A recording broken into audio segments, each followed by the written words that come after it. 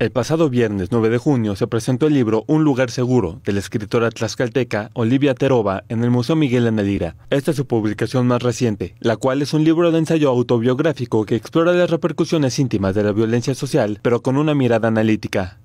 Cuando empecé a escribir el libro justo estaba acabando una etapa de, formación como escritora, acaba de tener una beca, que es la de la Fundación de las Letras Mexicanas, y justo hace rato estaba platicando de eso, que es una beca muy bonita y muy bondadosa y también es una etapa que te marca mucho porque te dedicas dos años a escribir y como todo oficio creativo, la escritura genera siempre muchas dudas. En la presentación participó Mónica Vargas, quien resaltó la calidez en la escritura de Olivia, ya que su texto despierta al mismo tiempo ternura y furia, a la vez que evoca nostalgia y amistad.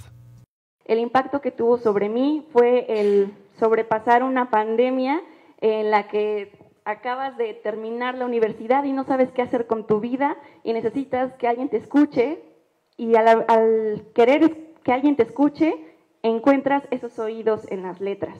El impacto que tuvo sobre mi mamá, con la que platicaba del libro hace unos días que le conté muy emocionada sobre esta presentación, pues era que le recordaba su infancia, su niñez, su adolescencia, eh, incluso su primera juventud en Tlaxcala.